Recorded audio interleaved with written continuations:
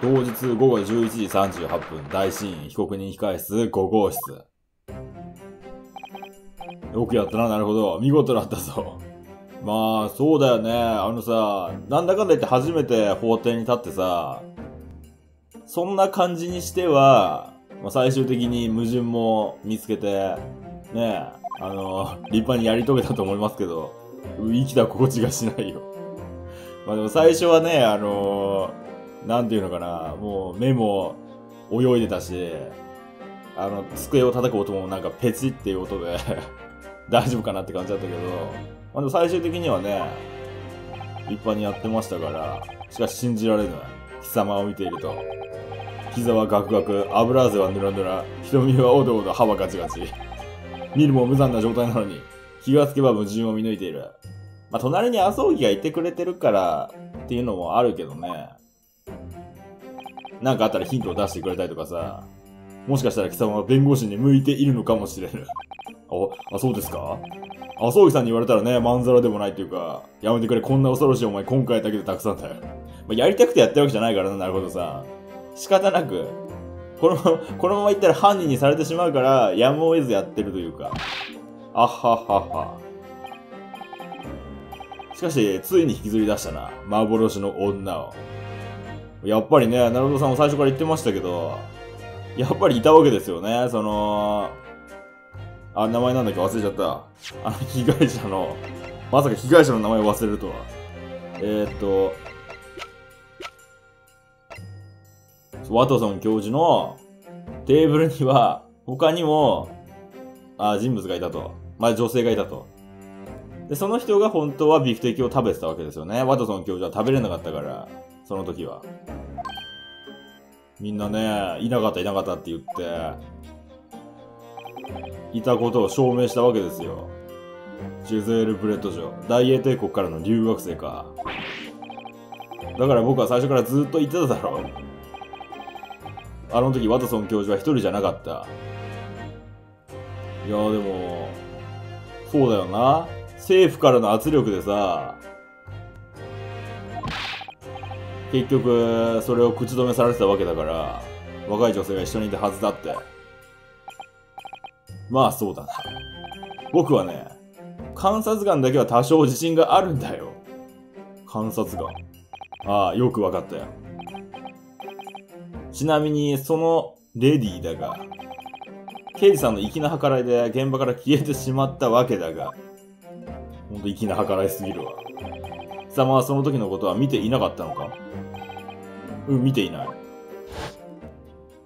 実際その、ね、拳銃を見つけた時、犯行の瞬間か、その時にレディはその場にいたのかっていうことなんですけど、あくまでナロさんが見たのはね、そのテーブルに行った時だけだからさ、あの店を出ようとした時、ワトソン教授が座っていた食卓の床に、拳銃が落ちているのに気づいたんだ。そしてそれを拾い上げた時、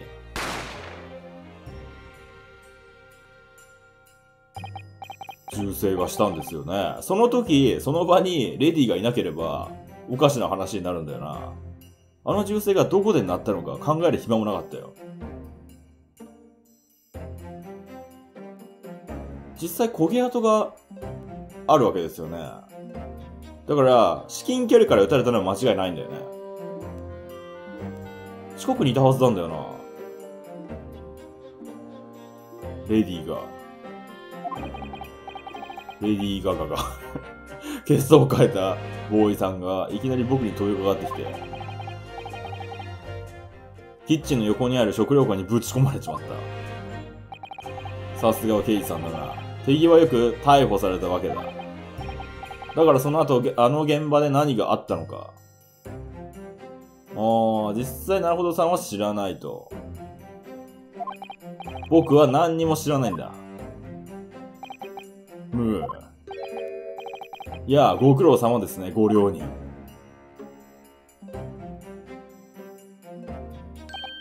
あ、これは、御言葉教授や。どうやら私の見込んだ通り、あなたの言う通りでしましたよ。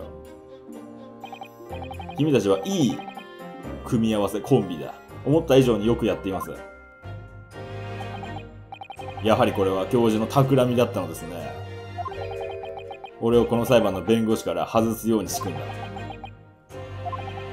この国はまだまだ幼い。その手法はもっと幼い。だからこそ、正しい情熱を宿した若者たちが留学することに意義がある。君の留学が中止になるような事態を避けたかったのですよ。ああ、やっぱそこがメインなんだ。なるほどさん、うんぬんかんぬんではなく、この麻生木さんを守るために、もし、この俺が、親友の危機を救うこともできない情けない男ならば、あまあそういう風な気持ちもわかるがな。今回の留学は自分から辞退させていただきます。え、な、何を言い出すんだ、麻生木。やはりか。君ならばそういうのではないかと思っていましたよ。なるほどね。この、なるほどさんの弁護を、弁護をして、結局、なるほどさんがそういうふうに罪に問われることになってしまうのであれば、私はもう行くべきではないって自分から辞退するからやらせようとしなかったってことかな。あ、葬儀。それでは、すべては君次第ということですね。え、ぼ、僕ですか？君自身の無実を立証して、この事件の真相を暴く。私としても、ぜひ真実を明らかにしてほしいのですよ。何しろ。私にとっても無関係な事件ではありませんのでね。何？実はあなたが裏で手を引いてるとかないだろうか。そういえば、御言葉教授、今朝もそう言ってたな。あの、もしかして教授は、お知り合いなのですか？被害者と。ワトソン教授と。ええ。まあそうですね。まあ教授、どっちも教授だからさ、教授つながりで、まあ、知り合いであってもおかしくないですけどね。ジョン・ H・ ワトソン博士を教授として有名大学に招いたのは、実は、この私なのですよ。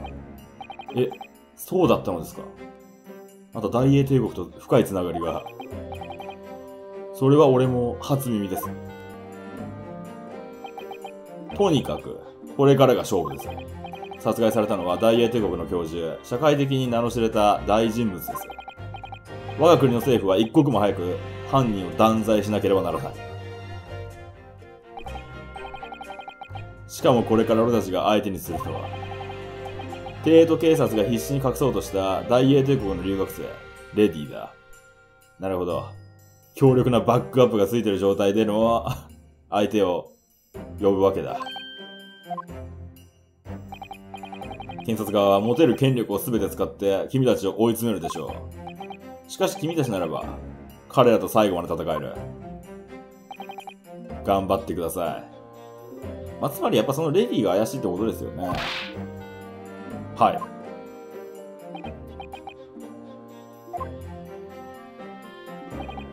お前は今からすぐに大学へ行ってきなさい。もしかしたら必要になるかもしれない。はい。何がだ？よここぞという時になんかこの人が現れて、待ってくださいっつって、これを見てくださいっつってすごいえー、すいません。ちょっと電話がかかってきてしまいまして。えー、ではね、続きをやっていこうと思います。それでは、カズマさんは5分を。この人、この人なんかね、すごい、あまり自己主張するタイプじゃなさそうだけど、影でいろいろ、なんか、バックアップしてくれそうな人ですよね。被告人、そろそろ休廷時間が終わる。直ちに法廷に向かうように。時間だ。次も頼むぜ、相棒。老人たちの勝ち込みの脳みそ。あ、勝ち込み、勝ちこちの脳みそ。さっぱり一刀両断といこうか。あまあ、それは全然いいんだけどな、なあ、アスオギ。なんだ。本当に、ありがとう。どうした？改まって。もしお前が僕を信じてくれなかったら、きっと、今頃僕はとっくに有罪になっていたよ。まあそうだよな実際麻生木そばにいてくれなかったらさっきのさ、法廷なんてかなりグズグズになってただろうし、相手のね、青内さんにだいぶ言い任されていたことでしょうしね。俺は貴様という男を信じている。超かっこいいよね、本当にこの人。麻生木さんさ、今んとこかっこいいことしか言ってない、本当に。本当にいいやつなんだな。弁護士としても友人としてもな。やっぱその逆祭やってるとさ、こう、つい人間不信に陥って、こういうやつでも実は裏があって、つってなんかね、いろいろ考えたりするんですけど、こいつは本当にいいやつだわ。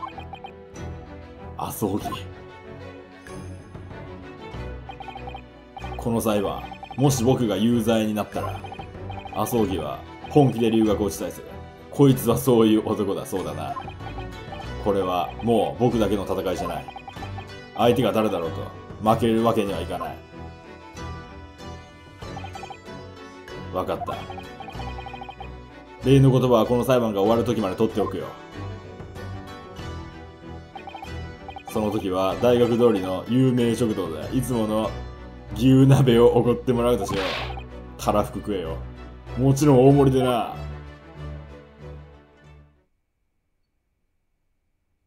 大盛りとは言わずもう特盛りで。まれだな。何にも食えねえ状態に してやる、その日はもう。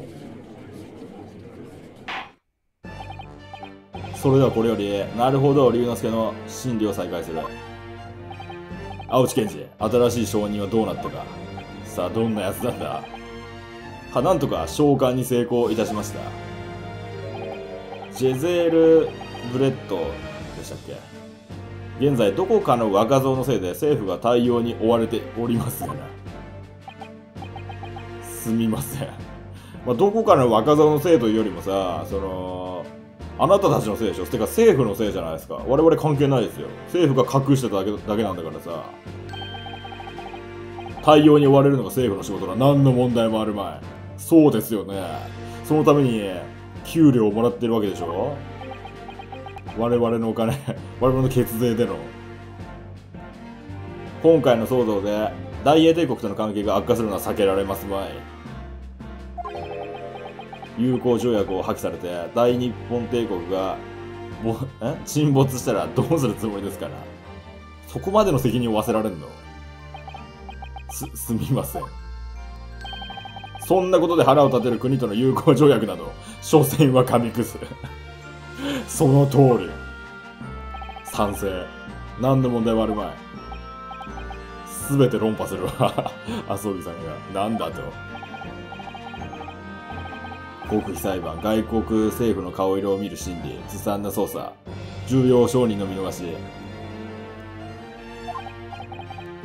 それがこの国の正義なのか、大審院はどこの国のものなのかだ。黙りなさい、この学生風情が。お前たちは何にも理解していない。現在我が国が置かれている状況。いや、まあ大体想像つくけどさ、想像つくけど、そのね、この事件にそれを絡ませてくるんじゃないよ。列強と肩を並べ、国力を上げる。あ、国力を上げる。高度に政治的な駆け引きが必要な時期なのだ。ああ、そうなんですか。それはね、あの上の方々がね、それ勝手にやってください。我々は、その、責任を取らされるような立場じゃないんですからね。その地道な外交努力こそが、この国の将来を作るのですぞ。確かに僕は不勉強な素人の学生です。でも、大審院のこの席に立って強く感じていることがあります。法廷に正義がない国に将来なんてあるはずがないって。そうですよね。もっともですね。泳いだ目でよく言った。なるほど。そう。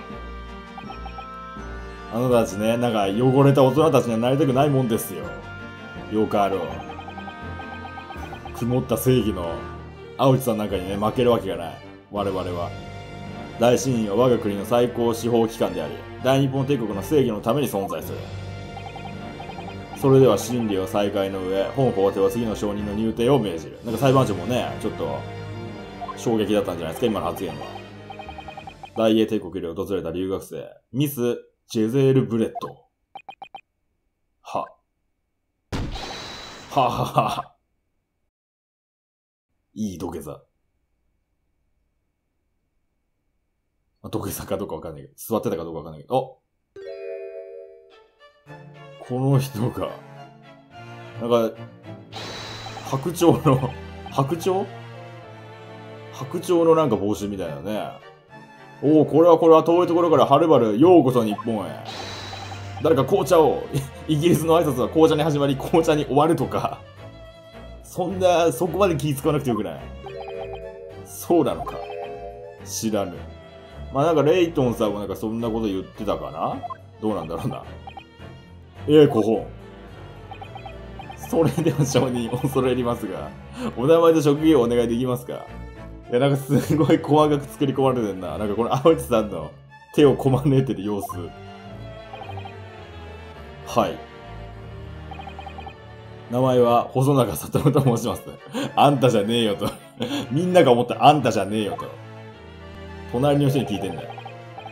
レストラン、ラックワントスのボイチョは そなたはもうどうでもよろしい。レディーファースト、イギリスはレディーに始まり、レディーに終わるとか。そうなのか。知らぬ。そんなことより貴様、ついさっきこう言っていたな。自分は観察眼だけは自信があるとかなんとか。ああ、うん、言ったような気がする。あれを見ておきながら覚えていたのが女性だけとは そうだな気になるところいっぱいあるもんな。あの、あの帽子すげえし。なんだ貴様、はっきり言って不思議な言い方だ。面目ない。それでは改めて、証人、お名前と職業。ちょっと顔がよく見えないですね。あ、え？隠してない顔を。えー、うん、うん、うん。ちょ何言ってかわかりませんね。ちょっと、誰か通訳を頼む。俺誰もわかんないじゃちょっと話になんですぞ。あ、あのレディ。大変失礼ですが、なんて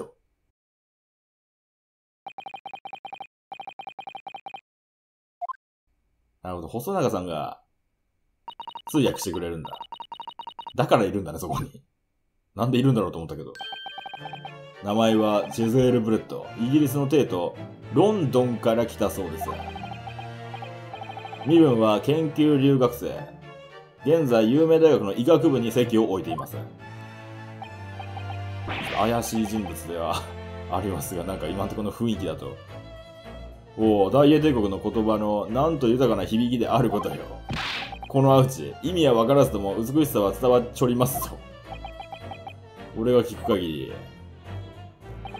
隣の刑事の通訳は信用しても良さそうだな。あ、なんとなく麻生木さんもそりゃそうか。一応留学を考えてたから、やっぱそこの言葉には精通してんのかな？ああ、確かに。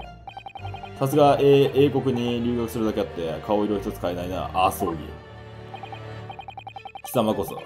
英語学部というのは伊達ではないよな。なるほど。あ、なるほどさ、英語学部か。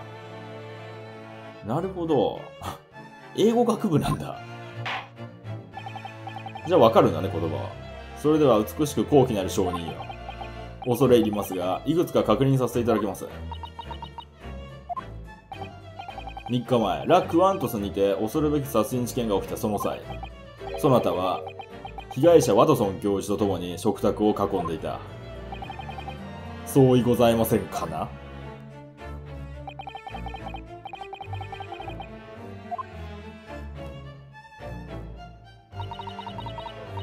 じれったいな。はい。だそうです。いや、ちょっと待って。今の長い言葉が、はい。だったら、ね めんどくさいな。あんな長く言ってて、はいだけなのか。あの者、留学生のくせに我が国の言葉を話せぬのか。まあそうだね。留学生なら、喋れてもおかしくないんだけどな。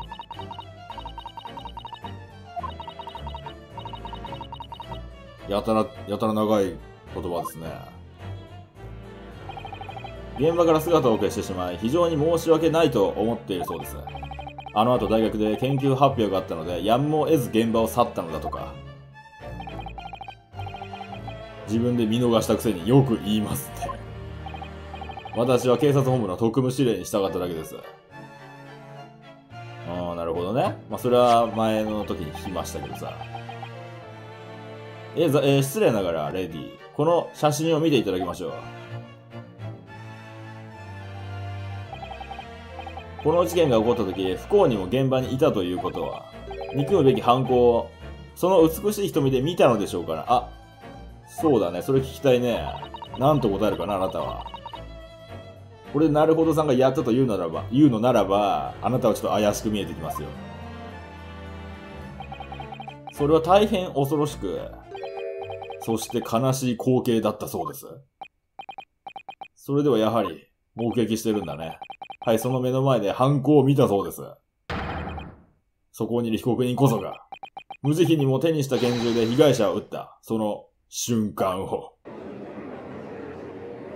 なるほどね。あなたはそういうわけですか。静粛に静粛に静粛に。お、お聞きになりましたか？裁判所閣下。これこそ、決定的な証言ですぞ。本当ですね。まあ決定的な証言ですね。本当のことならばね。どうやらこれではっきりしたようだな。俺たちの、本当の敵が、そうだね。奴だな。恐れながら証人よ。証言をいただけますから。そなたの目に映った恐ろしくも、えー、悲しい光景について。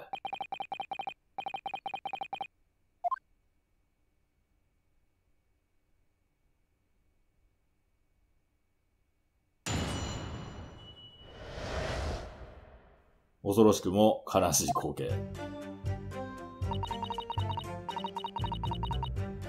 これなんか逆転裁判4思い出すわ、なんかあの、この通訳の感じ見てると。あの日、バトソン教授と少し遅いランチをいただきました。教授は食事ができなかったので、ビフテキを一つ注文しました。まあ、教授はね、その、抜歯してたんでしたっけだから、そうだよね、食べれなかったんだよね。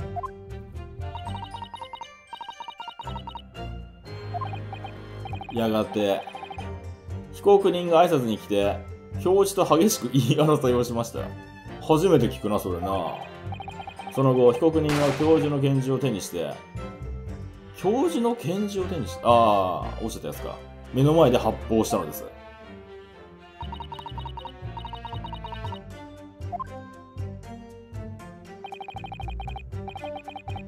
私自身は拳銃を持っていなかったので、犯行は絶対に不可能でした。あ、なるほど。確かにこれ、ぼ、僕は何時で教師と言い争いなんてやってない。あ、そこも嘘なんだ。でもちょっと気になる発言いっぱいあったね。くだら、くだらぬ口を挟むな。腹の底まで真っ黒な貴様と、花のように真っ白なこの貴婦人。どっちの言葉を信ずるべきか。真っ黒な貴様にも自明であろう。そんな、そんなことでいい？なんか言われちゃったらちょっとなん、外見じゃん、それ。外見。貴様も進歩しないな、なるほど。いたずらに手を挙げたところで状況は変わらない。そろそろ学べ。だって悔しいから。あの時、この細長もまさに現場にいたわけですが、このご婦人と先ほどの二人の証人の供述を本部に連絡したところ、このご婦人は事件と無関係と判断され、お帰りいただいたのです。先ほどの二人の証人の証言はとんでもない代物だったからな。いずれにせよ。このレディは事件のあった日も同じ服装をしておりましたが、あ、この服装だったんだね。ご覧のように拳銃を隠す場所などどこにもありませんでした。なんか帽子怪しくね、帽子。拳銃はでも持てたはずなんだよね。あくまでもなるほどさんが持ってたのは、実際ね、犯行には使われてないわけですから、まあ、仮にあれが、まあ、教授の拳銃だとして、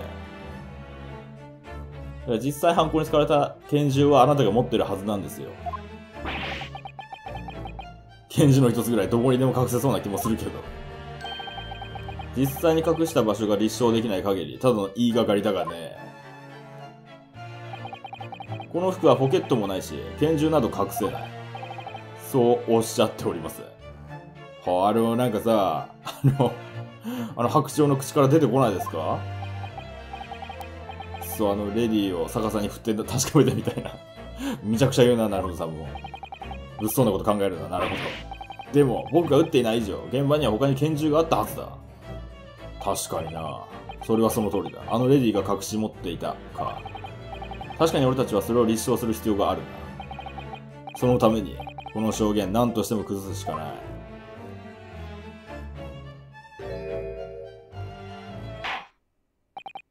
何やら、怪しい女性ですね。それでは弁護人、尋問を命ずる。化けの皮を 剥がしてやるか、あいつの。絶対あんなキャラじゃねえんだよ。なんか裏が隠されてるよ、あの人。恐ろしくも悲しい光景。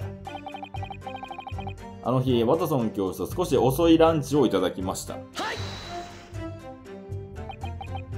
午後2時。確かに随分遅いランチですね。遅めのランチ、それこそが現在、大英帝国の最新流行。そうですな。あ、そうなの ?No. no って言ってますよ。無垢。あれが本場の脳か。なかなかの切れ味だな。このレディは現在、被害者の研究室でお世話になっているそうです。だから、ランチはいつもワトソン教授と一緒にお出かけになっていたとか。しかしあの日、そう、被害者は医者へ行く用事があった。しかもさ、それで抜歯もして、ね食べれないけど、食べれないけどランチに入るってなかなか 確かこの診察表に記憶があったっけな。その通り。ちょ、もう一回見てみっか。改めて。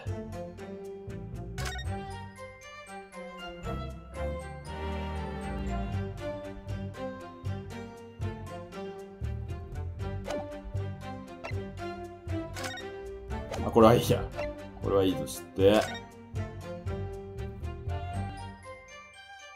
そうですね。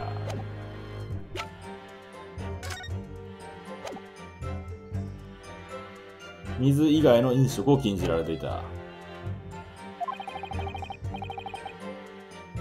治療が終わってから出かけて、出かけたため、あの時間になったそうです。なるほど。筋は通っている。さすがは大英帝国。さすがはレデー。この人はさっきからさ、レイじゃなくてレデーって言ってるよね。ですな。証人たちはレストランを訪れた。そしてどうなったのか。教授は食事ができなかったので、ビフテキを一つ注文しました。ビフテキ。あとはなんだっけ、炭酸水も注文したんだっけ炭酸水をだから、その、あれかなワトソンさんが。食事ができなかった。それは、教授が堀った診療所で虫歯を抜いたからですね。その通りです。今、隣のレディーに尋ね、尋ねなかっただろう。ところでレディは、そのことはご存知だったのかな？はい。あの日、虫歯を抜くことは聞いていたそうです。それでは。やはり、このビフテキはあなたが召し上がったということですか？それでよろしいですか？その通りです。この写真の光景はあの時のまま悲しくて、そして恐ろしい。あの時のままか。まさに痛ましいことです。極東の島国に来ていただいて、このような事件に巻き込まれるとは。このアウチ、鬼神となりて真犯人の顔面に鉄拳をめり込ませる、めり込ませると誓う。なんか随分物騒な、物騒なこと言いやがったな、急に。それでは、被害者のワトソン教授は何も口にしなかったのですか？はい、ただ一つ。炭酸水以外は。炭酸水食事こそできませんでしたが、水を飲むことはできたので、お二人でグラスで乾杯なさったそうです。炭酸水で乾杯か。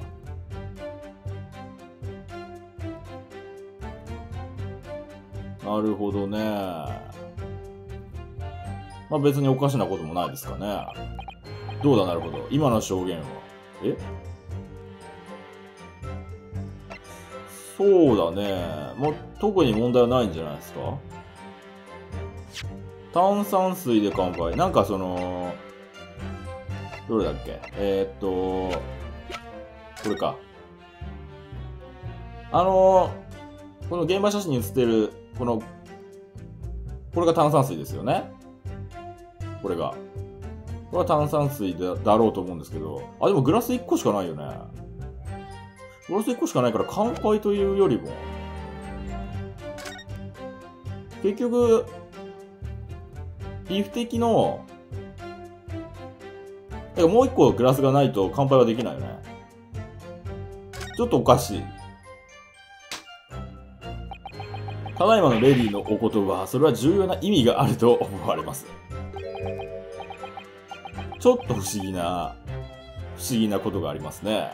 ほほ、それは興味深い。どんな意味があるというのかな。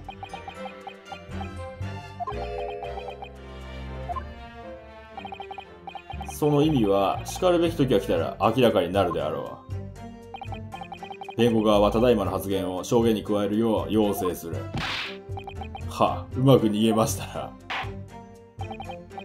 そうだな実際どうかなそれでは美しきレディー、ただいまの発言を証言に加えていただけますかな喜んでとおっしゃっております。言ってた今。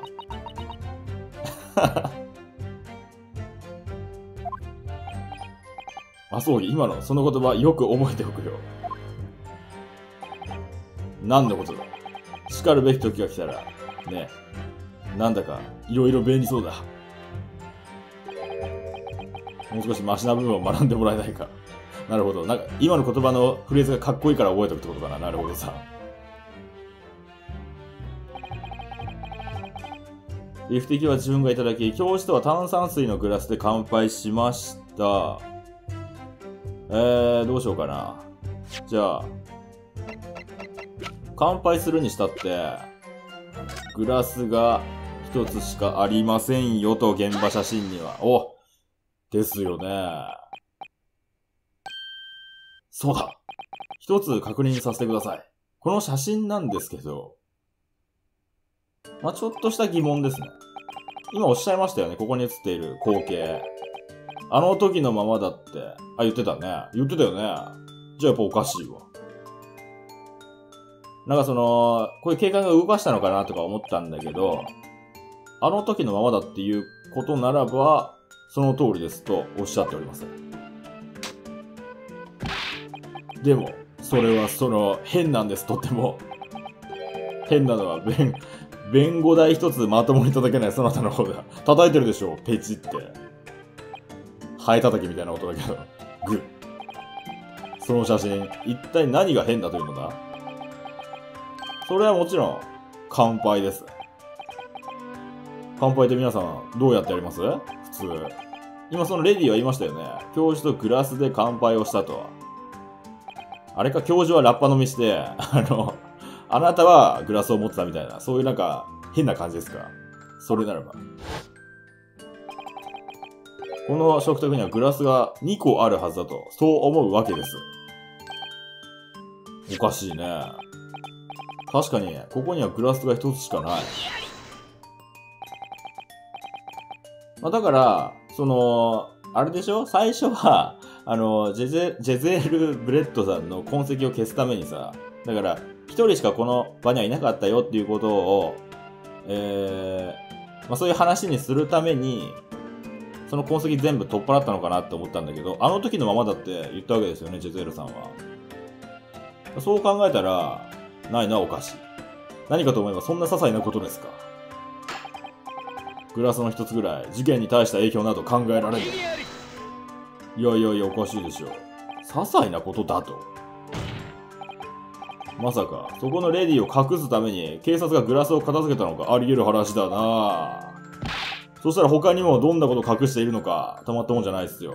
バカなこと。私はそのような愚かなことはしておりません。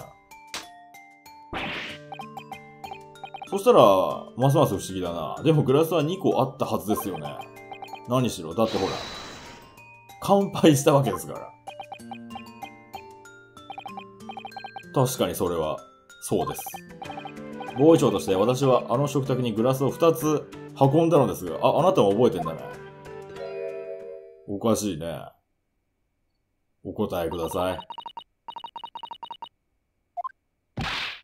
刑事、レディーは何と？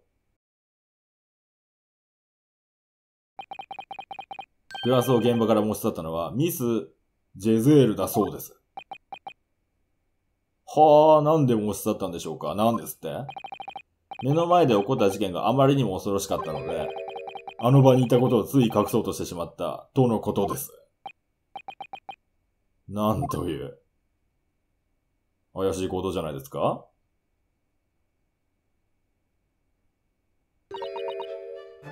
総理、